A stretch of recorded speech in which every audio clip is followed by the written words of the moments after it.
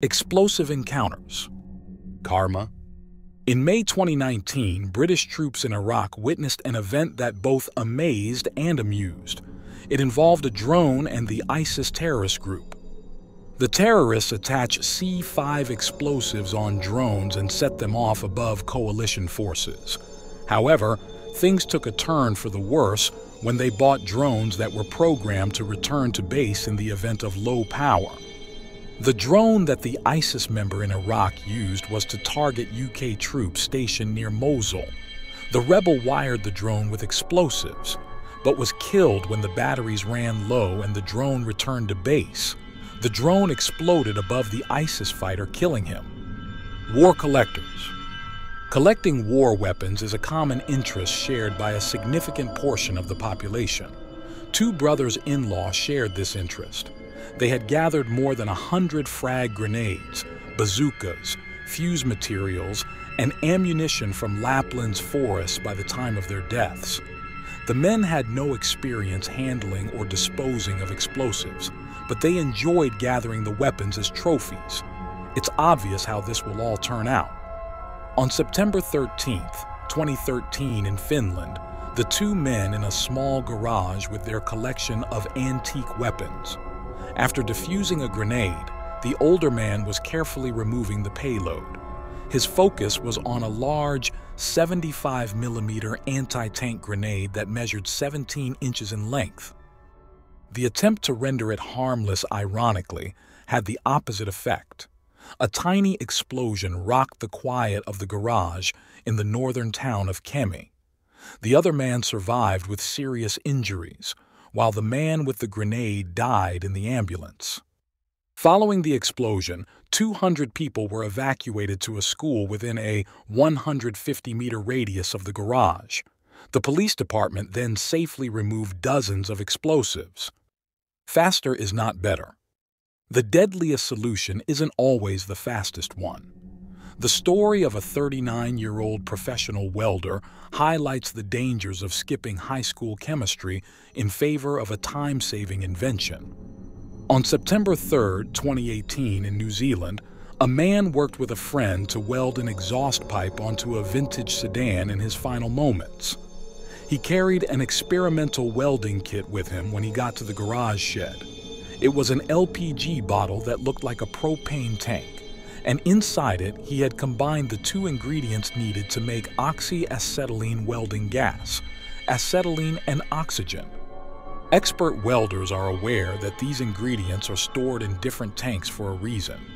A mixed acetylene-oxygen tank without a flow regulator is a disaster waiting to happen.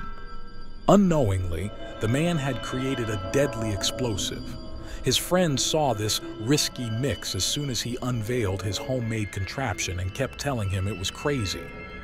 The man ran out of the shed quickly, but the welder, not to be deterred, lit the welding tip and affixed a torch head directly to the bottle.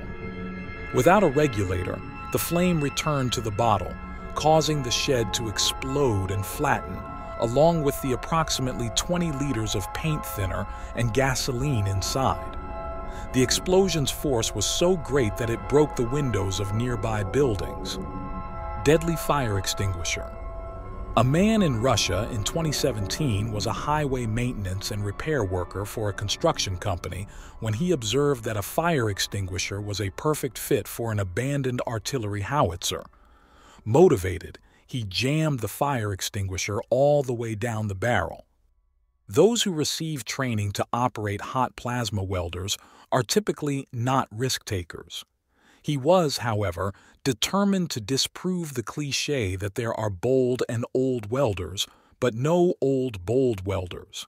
He loaded the cannon with water and calcium carbide, which reacts to produce acetylene welding gas. Unfortunately for him, his head was in the way of the shrapnel when the fire extinguisher exploded from the howitzer cannon, braining him with pieces of the payload, Suffice it to say he died. Deadly find. On a Saturday in March, a 50-year-old Romanian man was admitted to the hospital after bringing home a projectile he discovered outside his village. He started hitting it with a hammer. The result was explosive and he died. TNT. On May 8, 2009, just three miles from a booster rocket testing area in Utah, Brent discovered a cache of dynamite on his 5,000 acre ranch. Brent, 59, discovered a cache of dynamite in a shed. Not much is known about this stash. It was never determined if the dynamite was Brent's or someone else's. Regardless of its source, the rancher was concerned, and rightfully so. Nitroglycerin, which is sweated by old dynamite, is extremely unstable and prone to popping at any time. The rancher was undoubtedly aware of this well-known fact, but he thought he could handle this stash of flash. The rancher took the dynamite out of the shed, set it in a field of knee-high grass, took a shotgun, and fired it from about 40 yards away. The rancher received a good blow to the head from the shrapnel that the dynamite threw back at him. According to the sheriff's office, the dynamite exploded. The man passed away as a result. Lighter gas. Workers in a medium-sized West Texas warehouse detected a gas leak's odor. Astutely, the building's management evacuated and turned off all lights, power, and other potential sources of ignition. Following the building's evacuation, two gas company technicians were sent out. They had trouble finding their way around in the dark once they were inside the building. They were frustrated that not a single light worked. Subsequently, witnesses reported seeing one of the technicians take something that looked like a cigarette lighter out of his pocket. The gas in the warehouse exploded when the lighter-like object was operated, sending pieces of it up to three miles away. The technicians were nowhere to be discovered, but the lighter was essentially unharmed by the blast. Please like, subscribe, and hit the notification bell for more content like this.